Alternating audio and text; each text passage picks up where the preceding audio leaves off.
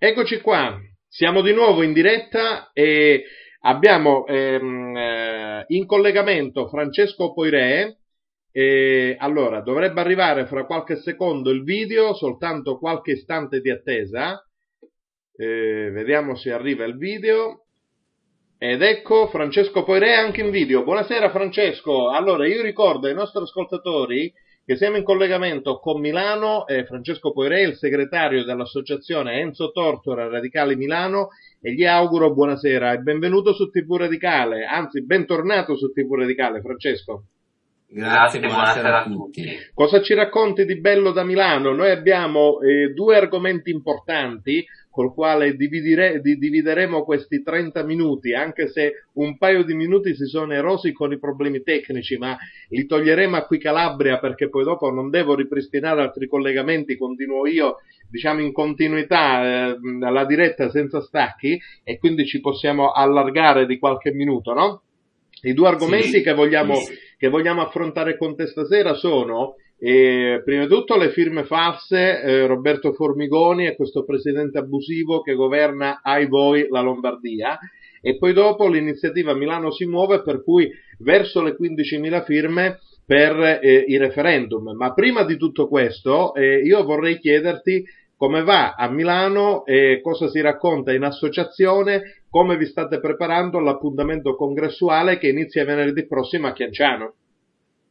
Allora, come associazione appunto, come hai già detto, siamo impegnati su questi due grossi fronti che sono eh, questioni di firme, le firme false di Formigoni e le firme vere che stiamo raccogliendo noi eh, per questa proposta referendaria di questo comitato che è Milano si muove. Eh, noi ci prepareremo al congresso con una pre-congressuale con la presenza di Bruno Mellano eh, martedì nella sede dell'associazione Radicale Senza Fissa Dimora in via Borsiere 12 quindi martedì alle 20.30 per chi vuole, per i milanesi o comunque i non milanesi che sono in visita a Milano e sono nella nostra città, se vogliono, via Borsiera 12 ci sarà questa pre-congressuale con Bruno Mellano. Questo è eh. sicuramente mh, molto interessante e le riunioni pre-congressuali sono un po' il, il sale dell'attività e, e, il sapore che poi dopo viene portato a tutti, a, ai congressi, ai nostri congressi. Guarda, io mh, parto un po' con eh, la prima domanda. Il presidente Formigoni, penso che sia eh, il presidente Formigoni che sia arrivato, ecco, noi lo accogliamo veramente con un sorriso. Eh, il presidente dovrebbe un po' guardare la tua faccia in questo momento che io sto guardando che mh, è, descrive già tutto senza parole. Allora, questo presidente abusivo a capo di una regione, raccontaci un po' come stanno andando le cose. Beh, guarda, noi diciamo che la, la lotta l'abbiamo cominciata fin da subito, fin dal giorno della consegna delle, delle firme, noi abbiamo presentato anche un esposto per l'incandidabilità di Formigoni in quanto eh, si, si, lanciava verso il ventennio formigoniano in Lombardia. Eh, quindi noi abbiamo presentato contestualmente al deposito delle nostre firme anche un esposto per chiedere appunto l'incandidabilità di Formigoni. Il giorno dopo, quando sono state dichiarate le ammissioni e le non ammissioni alle liste, con la richiesta di accesso agli atti che abbiamo fatto e che abbiamo ottenuto direttamente eh, lì nel tribunale, negli uffici dove avevano appena controllato le firme, eh, i, le persone preposte dal tribunale per fare questa operazione, i nostri volontari e le persone che sono andate a controllare le firme si sono subito accorte che eh, queste, lì, queste firme eh, erano più o meno molto simili, quindi che molto probabilmente ci poteva essere dietro la stessa mano su molte di queste. Ci siamo accorti che molte delle firme erano state prese prima che eh, fosse chiuso il listino Formigoni che eh, è stato presentato in pompa magna alla stampa, quindi le notizie di stampa erano chiarissime sulla data di chiusura del listino, c'è stata una cena d'Arcore per definire eh, le posizioni sul listino, quindi tutte cose che dalla stampa erano assolutamente note e da lì eh, subito, sono partite subito le nostre denunce, quindi con Lorenzo Di Parini che era il rappresentante della lista e il, le denunce di Marco Cappato che era appunto il nostro candidato governatore. Quindi fin da Bene. subito, fin dai sì. primi, primissimi giorni, diciamo che la nostra lotta è stata eh, abbastanza agguerrita su, su, questa questione. Purtroppo ci siamo trovati davanti un, uh, un pubblico ministero, abbiamo trovato Brutti Liberati che ha chiesto l'archiviazione in prima istanza aveva chiesto l'archiviazione del nostro esposto perché non si poteva basare su atti notori, quindi sulle notizie della stampa, la chiusura del listino e quindi praticamente aveva chiesto l'archiviazione. Eh, France- Francesco, gli ultimi sviluppi mh, mm, con Marco Cappato eh, voglio dire, ha portato a degli, eco, a degli eco su, sulla stampa e forse mh, finalmente anche la stampa nazionale, ho visto è uscito qualcosa su Repubblica proprio, proprio, ieri, eh, anche nei giorni scorsi. Eh, sì, tu, sì, tu, tu, tu come, pensi, come pensi che questa situazione si evolverà? Ma gli ultimi sviluppi sono assolutamente una continuazione e un lavoro che è stato fatto da allora nel senso che eh, dopo quell'accesso agli atti che avevamo avuto lo stesso giorno della, della ricezione degli esiti sulla missione o non ammissione delle liste, a noi non era stato più concesso di accedere alle liste, eh, quindi a controllare quelle liste depositate. Eh, mentre PD e PDL avevano relativamente le firme dell'avversario fotocopiate delle cassaforti, eh, noi non avevamo nessuna fotocopia di queste firme per farle controllare e solo eh, qualche settimana fa è stato dato l'ok a ehm, nostro iscritto di poter avere l'accesso agli atti, quindi di poter rientrare in possesso di quelle firme facendo delle fotocopie. Da lì è nata poi la perizia calligrafica che abbiamo fatto fare da un perito che è anche il perito nominato dal tribunale, eccetera. Quindi comunque che ha una certa importanza e da lì è venuto fuori appunto tutto questo caso che voi eh, avete letto ieri sulla stampa su Repubblica nella parte nazionale ma che già da un paio di settimane sulla parte cittadina di Milano di Repubblica viene comunque tirata in ballo anche perché Repubblica ha fatto un'inchiesta, ha fatto delle telefonate a persone presunte firmatarie della lista di, del destino dei formigoni e ha verificato che cadevano dal nulla. Legato del, di aver firmato per la lista, hanno dichiarato di votare tutt'altro e hanno detto di non aver mai voluto e mai pensato e mai firmato eh, per la candidatura del destino dei formigoni. Quindi anche questo dossier di Repubblica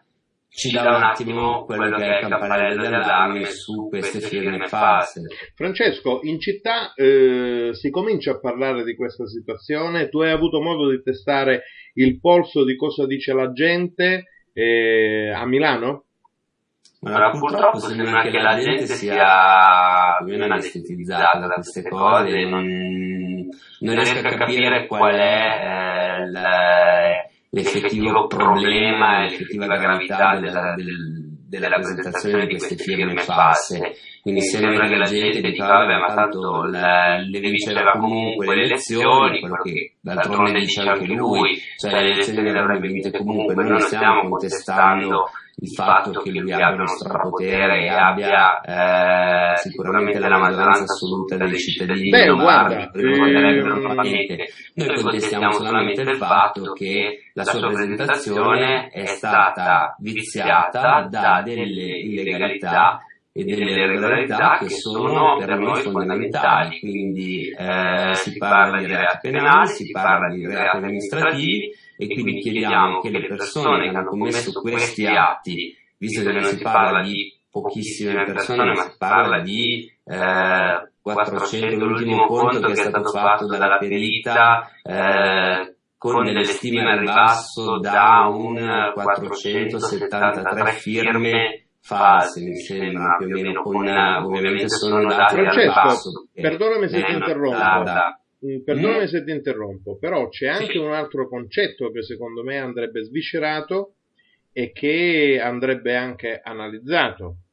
Allora, noi qui abbiamo un presidente che non, po- non, poteva non sapere come le firme sono state raccolte quindi qui il concetto è Formigoni si deve dimettere perché ha mentito. Eh? Poi esatto, c'è anche, c'è anche, no, ma c'è anche un, un altro aspetto importante. Formigoni può anche dire che lui è legittimato dal voto popolare. A me però da cittadino sorge sempre il dubbio. Se hanno falsificato anche una sola firma, che cosa avviene nelle stanze, nelle stanze del Pirellone? Cioè, eh, Formigoni, anche se è legittimato dal voto popolare, e con questo giustifica le firme false, negli atti amministrativi regionali che cos'altro si può giustificare? Questo penso che sia anche un argomento importante da sviscerare e da discutere. Beh, Beh quello è stato sviscerato anche quello in modo chiarissimo con eh, la conferenza stampa di Cappato subito dopo il ehm, fallito ricorso della lista di Grillo per il terzo mandato di Formigoni, come abbiamo visto eh, il giudice era una signora che aveva avuto a che fare con Formigoni in quanto eh, gestiva un'associazione cattolica legata appunto alla Comunione Liberazione, quindi anche lì si vede che eh, è chiarissimo che i tentacoli di CL in Lombardia ormai arrivano assolutamente dappertutto, quindi mh, mm, su quello non, non ci sono dubbi di che cosa si riesce a fare nelle stanze dei bottoni in Lombardia. Eh, è anche vero, come dicevi tu, eh, come notizia di oggi, che eh, appunto, eh, essendo così grave la questione delle firme, Formigoni non potevano sapere e non può a questo punto, eh, noi siamo sicuri che lui dal primo giorno non abbia detto la verità, tutta la verità, perché se questi sono i numeri delle firme false lui non potevano sapere, quindi di dire che noi avevamo malmesso le sue firme, che noi radicali avevamo manipolato i modi, eccetera, sicuramente eh, è una cosa di cui dovrà rispondere, ma soprattutto è una cosa di cui dovrà rispondere anche ai suoi elettori la, della sua falsità eh, nel dare la colpa a eh, persone che hanno solamente fatto il lavoro che ripetiamo deve essere fatto da eh, personale del tribunale pagato apposta eh, nella macchina elettorale, nel controllo delle firme cosa che non è stata fatta, l'hanno fatta dei cittadini radicali eh, che sono andati lì a spulciare una firma dopo l'altra.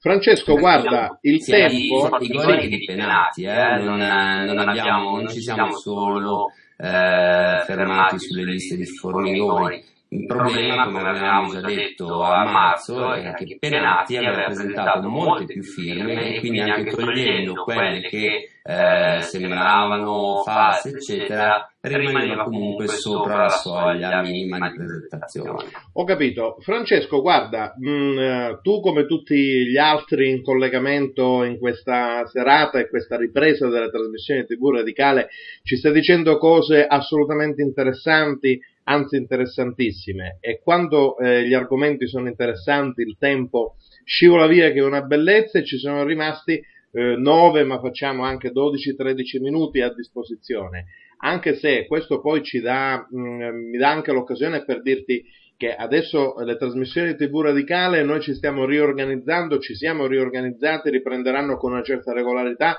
e quindi sono sicuro che tu darai la tua disponibilità per, per diciamo, ulteriori collegamenti e quindi per dare anche una continuità ai, ai, agli spettatori di TV Radicale, per dare una continuità a queste news che giungono dall'associazione che guidi e che giungono dalla Lombardia. Io, se tu sei d'accordo, passerei al secondo argomento perché è anche molto importante e mh, vorrei chiederti eh, su eh, Milano si muove allora, le firme si fanno? Come sta andando questa raccolta? Allora, diciamo che siamo anche qui molto molto ottimisti, nel senso che dopo questo ennesimo weekend eh, in cui siamo stati graziati dal tempo che voleva la pioggia fin dalla mattina, invece grazie fortunatamente è arrivata solo nel tardo pomeriggio. Eh, dagli ultimi calcoli che stanno ancora facendo in queste ore dovremmo aver superato le 14.000. Ricordiamo che eh, questa è una notizia fantastica. Da presentare sono 15.000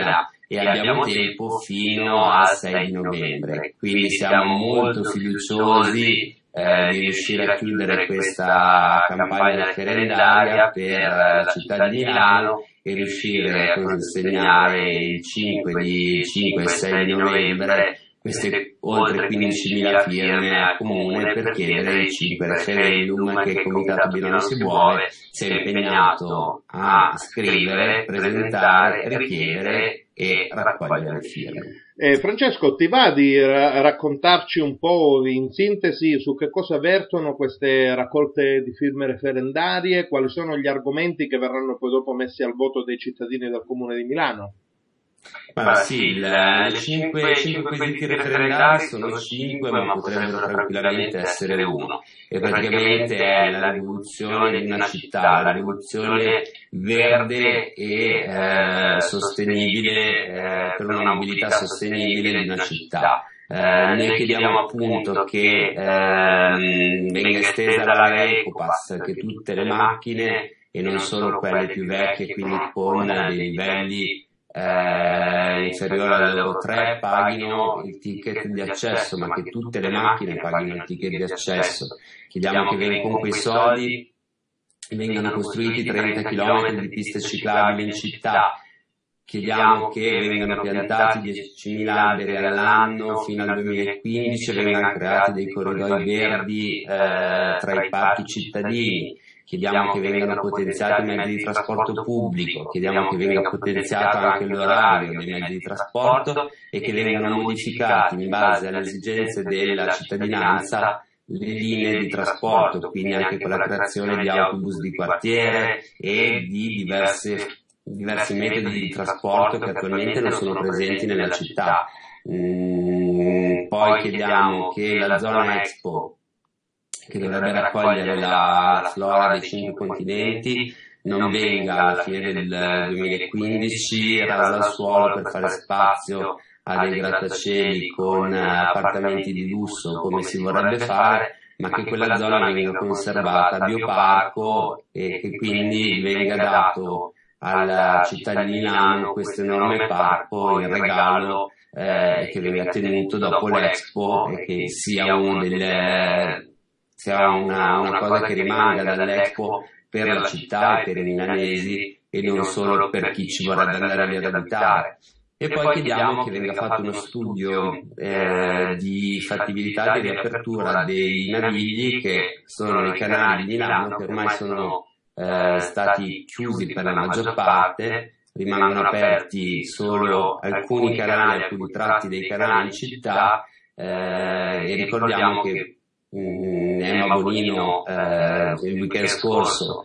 era proprio in Darsena, che era il porto di Milano, per denunciare il, il degrado in cui è stato lasciato questo porto, eh, che attualmente è addirittura senza l'acqua, eh, quindi i navigli sono bloccati e sono chiusi, la Darsena non arriva più acqua ed è diventata una discarica a cielo aperto. Guarda, mh, mm, Francesco, il comitato eh, da quante e quali associazioni è formato e, mh, mm, eh, e, le impressioni delle persone che vengono al tavolo cosa, cosa vi raccontano? Cosa vi raccontano?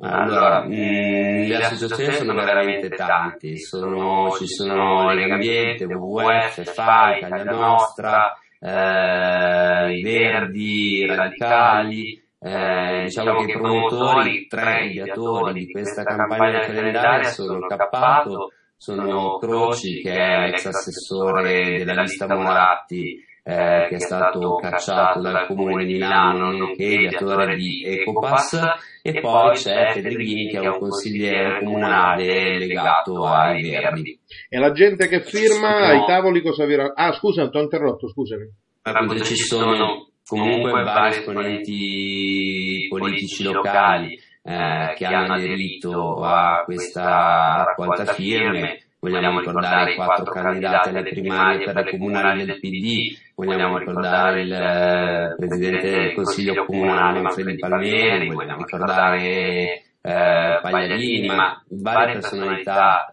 eh, sia locali che nazionali, che comunque hanno un legame con la città di Milano,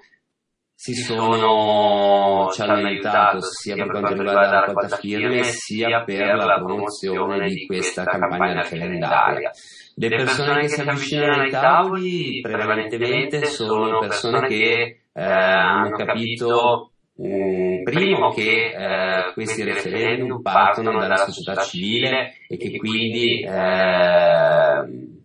non sono altro che richieste dell'associazionismo alla città. e secondo hanno capito che eh, questo referendum comunale con un quorum del 30%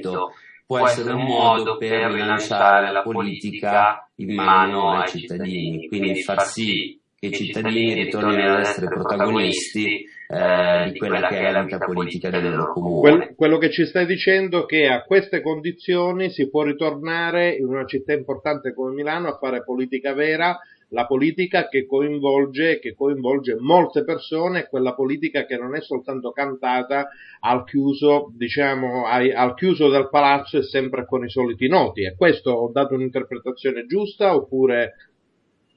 sì, assolutamente, nel senso che molti si avvicinano a noi e magari non, non condividono tutti i quesiti referendari, ma apprezzano comunque il fatto che qualcuno stia provando a cambiare dal basso quella che la, quelle che sono le scelte del comune, scelte del comune che eh, in questi ultimi anni con quest'ultimo sindaco si sono rivelate praticamente fallimentari sotto quasi tutti i punti di vista. Quindi ricordiamo che noi in quest'ultimo anno abbiamo visto eh, chiudere quartieri con eh, coprifuoco, ci sono cinque quartieri di Milano che hanno una, una linea di coprifuoco dove mm, i negozi devono chiudere entro mezzanotte, non ci può essere eh, nessun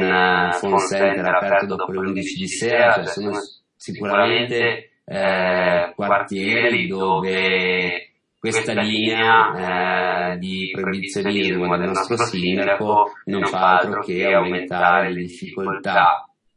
dei cittadini onesti e lasciare lo spazio alla piccola criminalità che comunque con i negozi chiusi come la gente per strada può benissimo fare quello che vuole.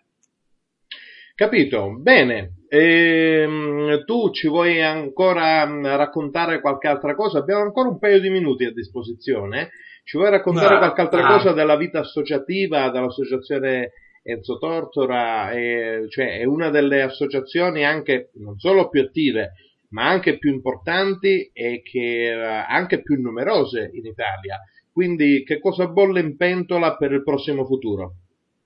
Beh, guarda, il, ehm, noi il 21 di novembre avremo la nostra assemblea eh, dell'associazione, quindi io ti posso dire quello che abbiamo fatto e quest'anno che si sta per chiudere con uh, la segreteria. e noi abbiamo fatto l'unica occasione che abbiamo avuto per coinvolgere i cittadini nelle attività radicali, in quella che è l'attività appunto di radicali italiani, è stata proprio venerdì sera, l'altra sera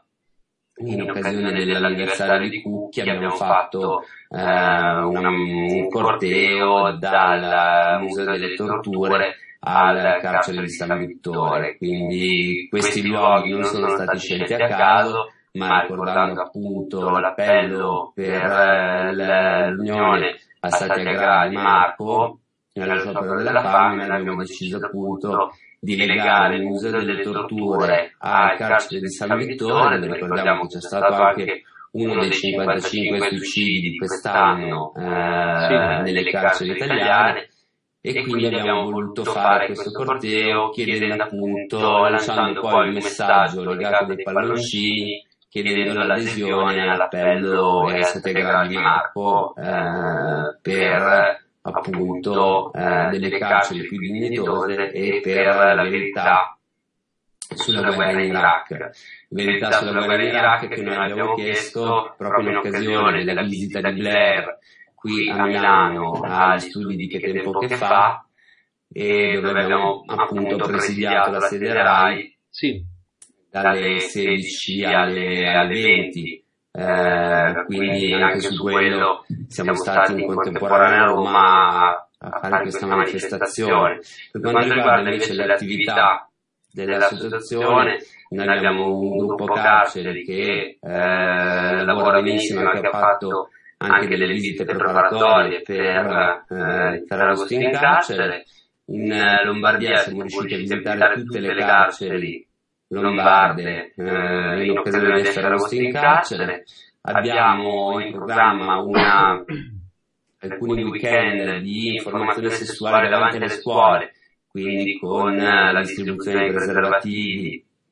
e la distribuzione di un volantone preparato da noi su metodi anticoncezionali e gli anticoncezionali di emergenza. Questo perché a Milano abbiamo un tasso appunto di seropositività, seropositività superiore alla media nazionale e abbiamo eh, dei casi di sifilide molto alti, molto alti soprattutto tra i giovani studenti. Quindi l'idea è quella di avvicinarsi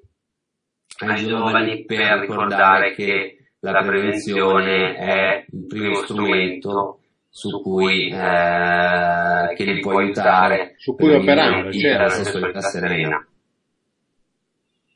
Bene, eh, Francesco, io eh, cosa dirti? Cosa dirti oltre che veramente un ringraziamento per questa tua eh, presenza. Stasera qui, avremo tante altre occasioni in futuro. Eh, come dicevo prima, il tempo purtroppo è tiranno e siamo arrivati al termine di questo collegamento, ce ne saranno tanti altri e noi avremo modo di vederci ehm, su a Chianciano, beh, giù a Chianciano per, per quanto riguarda te, esatto, e noi di TV Radicale saremo presenti, adesso io non ti anticipo nulla e anticipiamo, mh, eh, non anticipiamo nulla neanche agli ascoltatori, ma al congresso TV Radicale ci sarà ma eh, ci sarà, ecco, prima ho anticipato qualcosina, adesso ne do un altro pezzino, un altro pezzettino, eh, TV Radicale al congresso di Chianciano sarà presente, sarà presente con un format veramente innovativo, non saremo lì per scimmiottare chiaramente esperienze di organi di informazione che hanno la vera professionalità, noi siamo dei simpatici dilettanti eh, con, eh, come posso dire, con la passione e la mh, buona volontà di fare eh, informazione da far circolare soprattutto anche in, eh, da, da, far circolare in ambito radicale ma soprattutto a, all'esterno e quindi stiamo, abbiamo pensato e stiamo creando questo nuovo format che porteremo al congresso di radicali italiani per cui avremo modo di incontrarci lì e con questo io ti abbraccio e ti saluto caramente e mh, mm, a presto risentirci quindi. Assolutamente, allora ci vediamo, noi ci vediamo al congresso, mentre agli ascoltatori, se volete, domani sera in via Marchesi del Taddei alle 10, la sede dell'Associazione Sottoterra Arabica di Milano, ci sarà una serata con gli amici dell'UA Milano che ci parleranno della loro giornata dello sbattezzo, che, sia, che è appunto domani 25 ottobre, e invece eh, per chi volesse il 26 martedì siamo tutti nella sede dell'Associazione Radicale Senza Fissa Dimora in via Borsiere alle 10 per la precongressuale con Bruno Melano, quindi se volete raggiungeteci domani, dopodomani. Benissimo, appuntamenti importanti, grazie di nuovo Francesco, a presto risentirci. Ciao, a presto. Ecco, riprendo, riprendo, la linea su TV Radicale pienamente, ringrazio davvero Francesco Poiré da Milano che ci ha informato su queste importantissime iniziative, la raccolta firme dei referendum e quindi Milano si muove, così come abbiamo mh, discusso della situazione del presidente della Lombardia, presidente abusivo, eh, per la nota vicenda delle firme false, adesso io riorganizzo qui un po' Eh, lo studio mm, penso di non mandare lo spot perché non credo sia necessario, devo soltanto verificare che ci sia un audio decente per chi ci sta ascoltando e credo che mh, mm, eh, ci sia. Comunque